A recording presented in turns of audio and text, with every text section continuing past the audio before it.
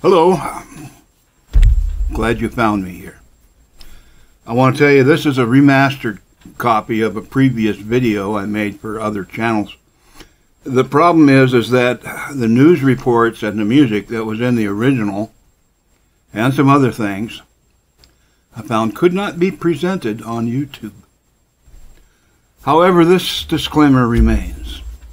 This video is for entertainment and food for thought only. If there is found any likeness to real people or events happening in this world, well, so be it. And there you have it. Matthew 24, verses 21 through 23, uh, explain to us this in the English Standard Translation. For then there will be great tribulation, such as never been from the beginning of the world until now. No, and never will be. And if those days had not been cut short, no human being would be saved. But for the sake of the elect, those days will be cut short. Then, if anyone says to you, Look, here is the Christ, or there he is, do not believe it. Famous verses from Ephesians 6.12 from the ESV, I think it's 12 and 13, for we do not wrestle against flesh and blood, but against the rulers, against the authorities, against the cosmic powers over this present darkness, and against spiritual forces of evil in the heavenly places. Wherefore take up the whole armor of God, that you may be able to withstand in that evil day, and having done all, to stand I have to start this this video with a, uh, a very deep question, one that many people may not have ever considered before. Although I'm thinking that I'm finding some theologians are really starting to come along and talk about my point of view. Not that my point of view is good or bad, or might be, or might not be, but again, it's an entertaining point of view. How does anyone, to ask the question, totally destroy what is indestructible? How do they drown something that does not need the breath of air? Or even starve something that does not eat? Well, the answer to that we will discuss a little later towards the end of this video, and I hope you stay around long enough to get a good understanding of why that question must be asked. For many years now, I have tried to find the answer to the question. Um, learned a long, long time ago that you know you you want to get to the bottom of a crime, all you got to do is follow the money trail. But I couldn't find the answer to the question of what economy drives some people to want and work so hard to develop a single new one world government. It's like asking who will pay them money or taxes when no one is working. Well, I could find no answer when following that money trail, but I kept trying. But then I heard that part where the New World Order wants to get rid of carbon dioxide, it, carbon dioxide, what they call a pollutant in Earth's atmosphere. Eureka. Therein lies that answer. You might go, huh?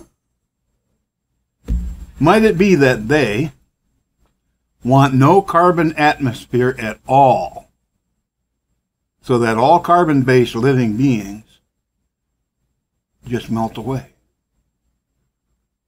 After all, humans are carbon based themselves, and carbon passes through us and rejuvenates our body, our body's own carbon, as it's going through, as it's passing through. We breathe it in, we breathe it out. Little small things. It's the small things, they say. Well, they, whoever they are, I believe they want to make Earth just like Mars. A pure planet, desert, with no intelligent signs of life in it. And I believe, furthermore, that this is all part of the war against God, our Creator. As human descendants, we have been made in God's image. The genetic sons and daughters of Adam through Noah and on down. And we are right here in the middle of the war against Father God, the Most High. Whether we like that or not, we're here. The fact of the matter is that many of the days, days, could live on Mars. But Mars is just too far away for a simple vacation trip. And Disney hasn't built anything there yet. They want to do away with cars, trucks, transport vehicles, coal-fired generation plants, your gas stove, air conditioning, refrigeration, all these things that help us to live on this planet. And why? The reason for that, I believe, is that because all the fuels and things that we are using in this world, except for maybe nuclear power and air and solar power, transpose into CO2. They consider CO2 as a pollutant, something that must be gotten rid of. What? Why? The reason is because plants and trees and other living things in the ocean feed on CO2 and expel a human breathable oxygen. The New World Order also wants to get rid of CO2 entirely, as well as control all the farming, ranching, all farms of all, all forms of food processing and agriculture. You see, they want humankind to be withered down into numbers that could not possibly sustain themselves. So that all of us, made in the image of God, will die. And many of those will choose to depart from the faith thinking they'll be able to live. Oh well. But the book says, now the Spirit, the Spirit expressly says that in the latter times some will depart from the faith by devoting themselves to deceitful spirits and the teaching of demons. From 1 Timothy chapter 4 verse 1 of the ESV. Why would they want to do all this all this stuff? Why would they want to basically destroy all forms of life on this planet? Why would they want to make it like Mars? We'll get into that. First off, we'll read some of the evidence that uh, the New World Order people uh, want to shove down your throat. As according to the uh, Center for, Fi- for Science Education, and I quote, CO2 traps heat in the atmosphere causing global warming. End quote. That's all I got to say. Causes global warming. Everybody gets global warming. Oh, we don't want global warming. But if you was to read down a little bit on the same page and a little further, this will be found. Quote, photosynthesis, the biochemical process by which plants and some microbes create food, uses up carbon dioxide.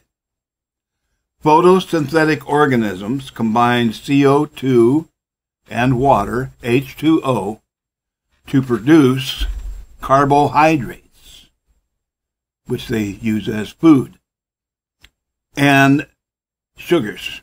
Get back into the quote, and they emit oxygen as a byproduct. Places such as forests and areas of the ocean that support photosynthetic microbes, therefore, act as massive carbon sinks, removing carbon dioxide from the atmosphere via photosynthesis. Earth's early atmosphere had much higher CO2 levels and almost no oxygen. This is still according to the, uh, yeah, yeah. And the rise of photosynthetic organisms led to an increase in oxygen, which enabled the development of oxygen breathing creatures such as us. End quote. The theys want you to believe the first part of that text, but all the while they're hoping that your eyes will grow tired and you skip past the later part. And so the theys want to dis- want to uh, construct big uh, scrubber machines and and pipelines and large containers to suck up and remove the CO2 from the planet, as well as kill all the trees and destroy all the farming and agriculture and get rid of the cows. And they want to put all that carbon dioxide in big tanks under the ocean. Well, okay, I don't know if that last part is true or not, but it would seem that. Even though the real truth is that all that is needed is more grass, more plants, more trees, more ranching, more farming, more cows, more agriculture. You see, they are oxymoronic, you like that word, in whatever endeavors they choose. But they don't care. This is why they're politicians. They only want to control us. And who are they anyway? Well, I can tell you this. There are two basic groups of theys. One being a very duped group, they that serve the other group of theys. We'll take a look at the first ones. The first theys mentioned here in are your world leaders, politicians, and those that are working towards new world order, trying to get rid of CO2. The Bill Gateses, the uh, all of the people in the WEF, et cetera, et cetera, right on down to your senators and congressmen. Yeah, here's the interesting part. Because I was saying, the first days mentioned are your world leaders and politicians. These are a duped group that think they are smart and will rule over the remaining humans when the battle is over. But the reality is, is that the other days will not allow that. Instead, the second days mentioned here have a plan to crush the theys that are the politicians of this world as soon as the theys that are the politicians of this world have outgrown their usefulness. Thus, they are leaving the other theys to rule over, the second set of days, to rule over anything that might be still remaining on earth. But I tell you truly, God will not allow his image to be wiped clean in this action. He created this world for us. Okay?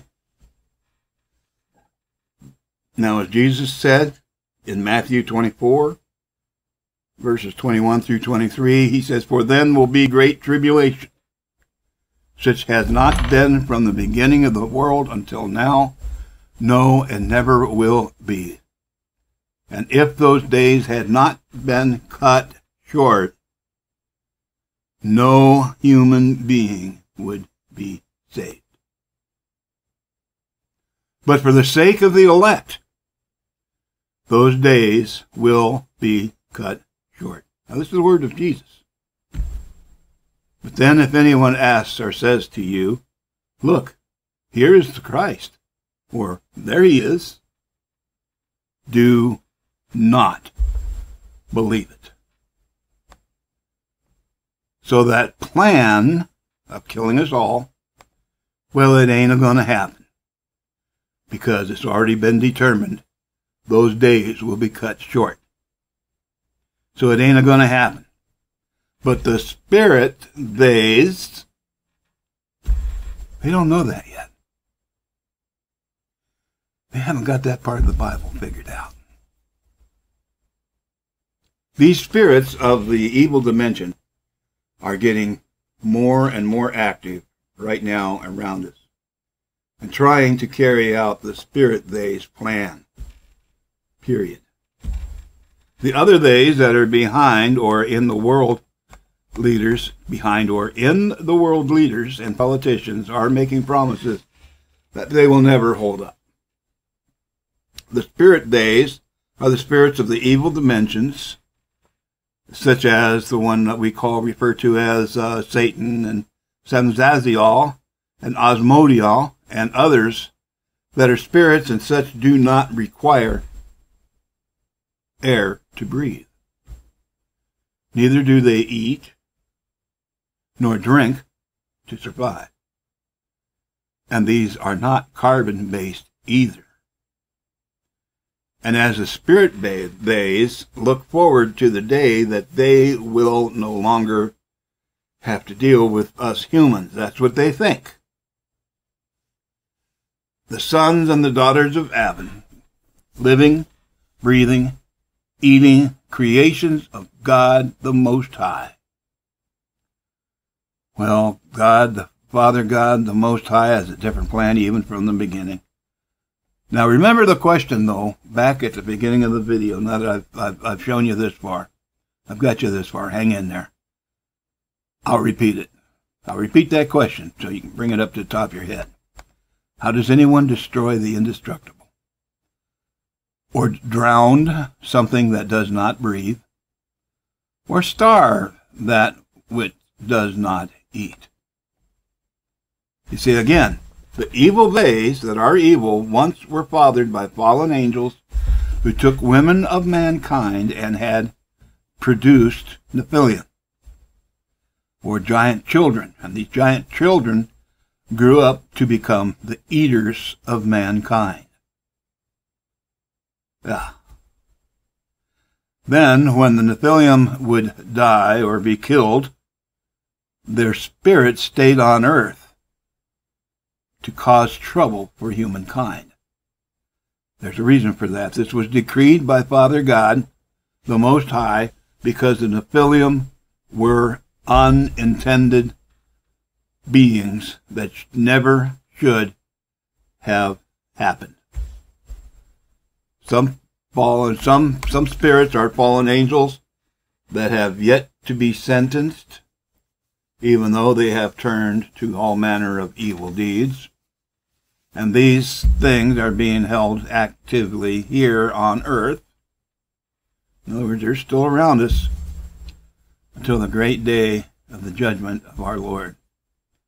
Our place is to figure out what they're up to so we can avoid conflict with them. Now, as we said, and keep saying, angels are indestructible as far as mankind's ability, as they were made to be also eternal beings. Angels do not need to breathe air, and they do not eat. Even when Jesus suddenly appeared to his own disciples after the crucifixion, the disciples were afraid that this might be a phantasma, or an evil spirit. But Jesus quickly put them at ease as follows. And when he had thus spoken, he showed them his hands and his feet. And while they yet believed not for joy and wondered, he said unto them, Have ye any meat? And they gave him a piece of broiled fish and of honeycomb. That was from Luke 24, 40 through 42 in the King James Version. Thus they knew at that time when he ate, they knew it was not any phantasma, but it was Jesus. Now, we may be able to understand from what I've presented so far that angels and spirits do not eat, drink, and require air to breathe. Angels who were loose may have easily supply, you know, survived the great flood. And these survivors may have come back on land to repeat what others had done before them.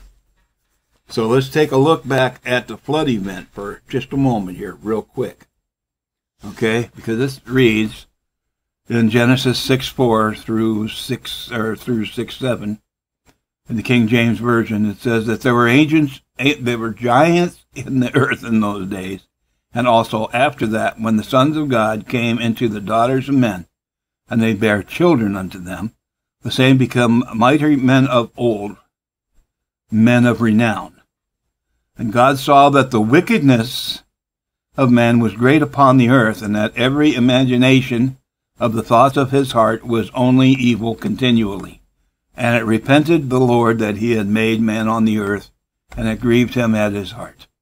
And the Lord said, I will destroy man, who have I have created from the face of the earth, both man and beast, and the creeping thing, and the fowls of the air. It repenteth me that I have made them.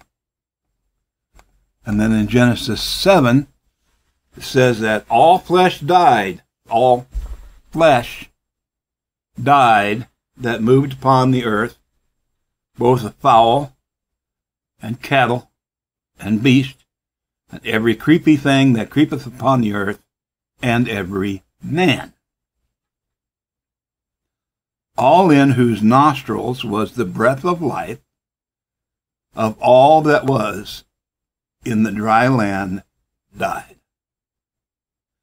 Every living substance was destroyed that was upon the face of the ground, both man and camel, cattle, and creepy things, and the fowl of heaven, as they were destroyed from the earth. Only Noah remained alive, and they that were with him on the ark. That was Genesis 7 21 through 23. Huh. Did you hear anything about any angels? Hear anything about any spirits? Now, I'm I'm sure that if there were living, breathing, eating, Nephilim when the flood came along, I'm pretty sure that they would have died. I mean, after all, how how long could they hold water? How long could they hold their breath? You know, sooner or later they would drop out. Now we just have a, their spirit left. but They're not in the same body. So they would have died at that point, died off. I believe that's kind of what the Bible is saying. But the evil spirits of the Nephilim, and now after the after the flood, we also have the Rephaim as spirits, and they also were indestructible as far as humans are concerned. And this is why we, even today, under the, under the Lord Jesus Christ and in the direction of the Holy Ghost, are able to cast evil spirits or demons out of the suffering and needy Christian. Even so, we cannot kill a spirit. We can only cast them out from a willing person. Make them leave. Make them leave their house. Make them leave their body make them leave them alone. And it's God, Jesus, through the Holy Ghost that does that does all the work, or He sends angels to do the work in some cases. Such spirits, though, they can walk through solid walls and certain dimensional barriers. They can shape shift in all directions, and as spirits, they do not need to breathe. They do not need food or water. So now that brings us back to the question. How does anyone totally destroy that which is indestructible as far as humankind is concerned? Or drown something that does not need air? or starve something that does not eat? The answer is simple. The answer is that which has been put aside until the end, the lake of fire. As found in Revelation, uh, let me get back to the number here. Revelation 19:20, and the beast was taken, and with him the false prophet that wrought miracles before him, with which he deceived them that had not received the mark of the beast, or that had received the mark of the beast. My apologies. And them that worshipped the image of the beast. These both were cast alive into the lake of fire, burning with brimstone. Revelation 20:10 and the devil that deceived them was cast in the lake of fire and brimstone where the beast and the false prophet are and shall be tormented day and night forever and ever. Revelation 20:14 and death and hell were cast into the lake of fire. This is the second death. Revelation 20:15, and whosoever was not found written in the book of life was cast into the lake of fire. And whosoever was not written, was not found written in the book of life, was cast into the lake of fire. Now, I would reckon here, just a personal point of view, like most of us, that only the living creations of God might be found in the book of life. Now, you know, there's always that question, can you be written out of the book of life? I'm, I don't know. That's not for me to know. That's above my pay grade. But I do believe that only the creations of God living, breathing creations of God might be found in the book of life. Now, as angels, being eternal beings, would they be considered living beings just as humans are living beings? I'm not sure there either. Humans were created by God, and in life we have a physical mind and a body and a soul that is of God made in the very image of God. And all of that returns to God at the time of judgment. But the souls of the Nephilim are unintended spirits that have not a soul, even though they had a form of life once, but no longer live, but yet are spirits waiting to be judged.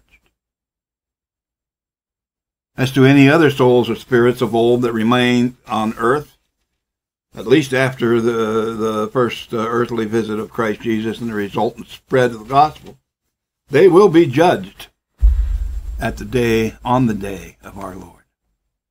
And just to be clear, I believe that all of the above mankind that was not picked out of this world by Jesus and his angels at and during his first, at towards the end of his first coming, when he went into hell,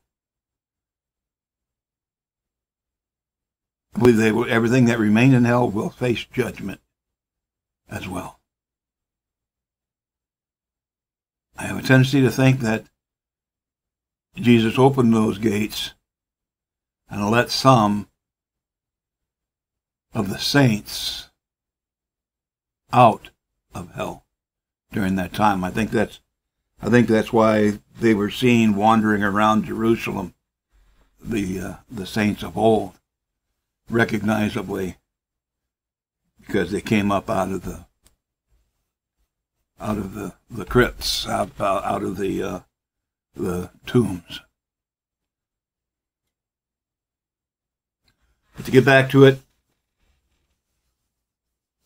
everything that will be found guilty in that day of the Lord's judgment, then they, they, too will be cast in the lake of fire.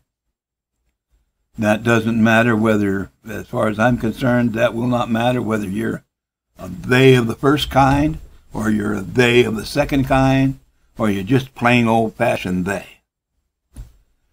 Each and every one of us, I believe, will face the judge. And Jesus the Christ is that judge. At that time, will the Lord say to you, I never knew you. Now I know that I will be judged even for what I have produced here. And I'm sure there is some error in it. And I will be judged for probably some other unconfessed matters as well. I can only pray that Jesus knows my heart and intentions and remembers just how short a memory he has given me in old age. Because even though I have tried and tried and tried to confess everything as it comes to mind, I'm sure there's some things I've forgotten about. But what about you? Will we see each other at the wedding? If not already, this certainly is the time now to place your mind, your heart, and your body in the hands of Jesus the Christ, the Son of the living God, so that the Holy Ghost may work perfect in you and keep you safe until the day he returns. This I pray for all who will receive it.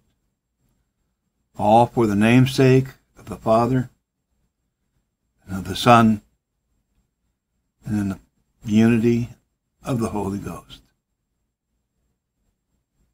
Amen.